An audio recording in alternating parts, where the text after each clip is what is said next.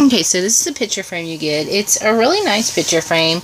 Um, it seems really durable. It's a nice bright um, green color. This can be hung vertically or horizontally. It can also be sat vertically or horizontally. Um, it's really nice. I really don't see anything wrong with it. It fits a 4x6 perfectly um, with no issues or problems. And it does have a glass um, frame, um, piece of glass in the middle of it. I really like it so far. Really haven't had any problems or issues.